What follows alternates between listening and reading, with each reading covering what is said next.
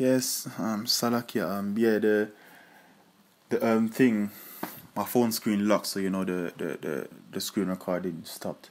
So um, basically, yeah, man, you know, we weren't gonna see our homeland again, and that's that's what happened to our people, man. Uh, let me get one more precept. I'm gonna get Joel three.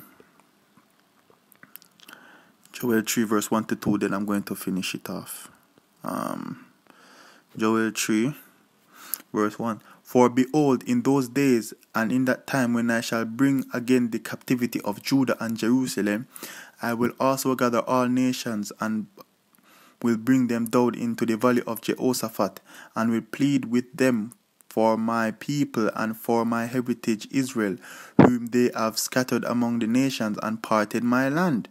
And that's what they did, man. You know, they took our people into captivity. So I say, I will gather all nations and bring them in down into the valley of Jehoshaphat. He will gather all nations, man. So you know, all the nations on the earth right now it pertains to. Every nation on the earth has some part to play in the scriptures, man. Every nation, every single nation. You know, the people are called, um, you know, um, African, um, American, European, but that's not their true names. You know, then over time, names got changed. You know, in the scriptures, there are 18 nations. 18 nations, man, in the scriptures. Which one do you fall under? You know, the children of Israel are on the land, right? Are, are existing right now, you know, called Negroes, Latinos, and Native Americans, man.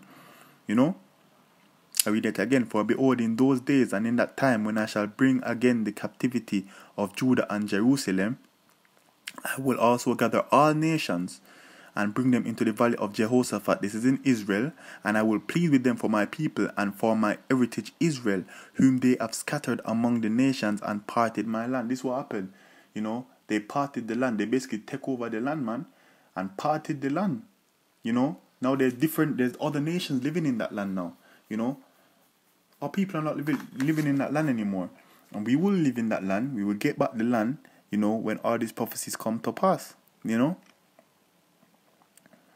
So with that, I'm going to say, all praises to Yahweh, Bahashem Yahweh Bahashem Kakadash.